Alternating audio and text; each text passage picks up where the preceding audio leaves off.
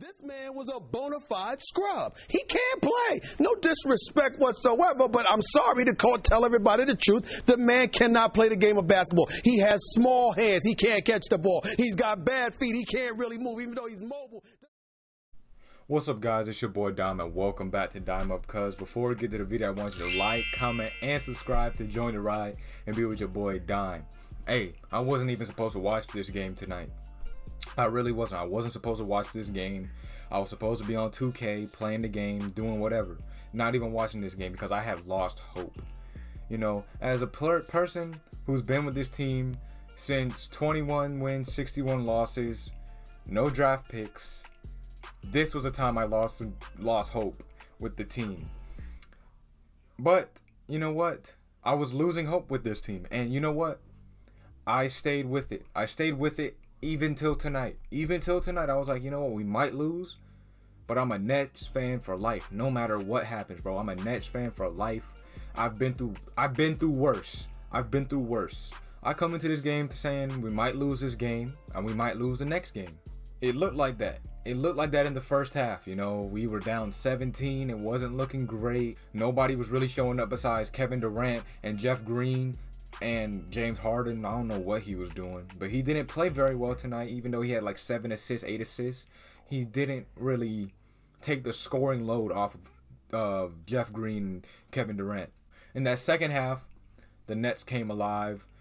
I don't know what happened to the Bucks defense. Um, there were points where I was like, "Yo," there were points in the game I was like, "Yo, the Bucks, they could have avoided this by doing this, right?" Like Kevin Durant was cooking everybody. But not when he was in that point where he was cooking this all-time performance. Not once did I see Giannis on him. Giannis is a very long player. Kevin Durant is a very long player. And when those two collide, it's going to be an equal match or an equilibrium between the two. When you have Jrue Holiday, Khris Middleton, PJ Tucker, who has been guarding Kevin Durant pretty well this series or in this past few game or in these past few games in this series, he doesn't really have the length to keep up with Kevin Durant. Giannis has that length and he's very good defensively.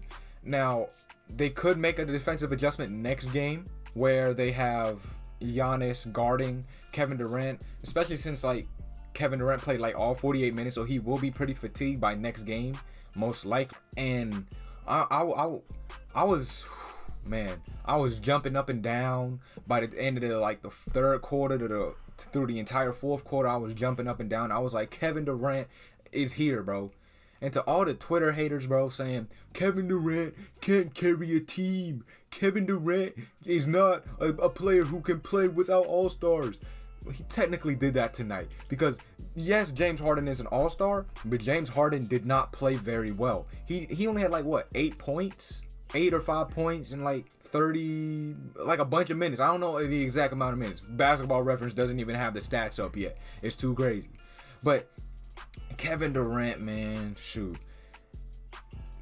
Y'all need to stop, bro. People saying he can't carry a team. Yes, he can, bro. He can carry a team. He just did it tonight. 49 point. He had a 49 point triple double. 49 point triple double and won the game. Hit the clutch free throws. He could have went. He could have got 50, but he missed that free throw, which I wish he made.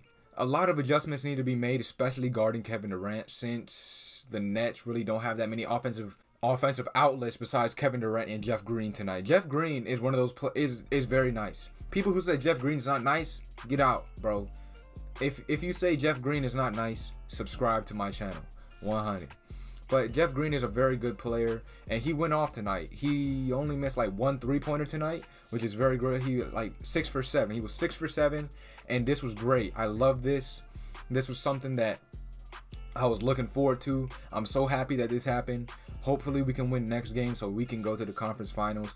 But I am not going to be surprised if they do make defensive adjustments. The Bucks do. I, am not going to be surprised and make it even harder for the Nets to win because now that Kyrie is out and James Harden's not playing very well, I feel like I feel like they're going to put a lot more pressure on KD next game and it's going to be a dogfight just like tonight. So tell me your thoughts about this series in the comments below. Will the Nets win the series in six, or will the Bucks force Game Seven? Also, question of the day: Who is your favorite NBA player? And is Kevin Durant the best player in the league right now? If you enjoyed the video, remember to like, comment, and subscribe to join the ride and be with your boy Dime. Hey, God bless. Peace out. 100.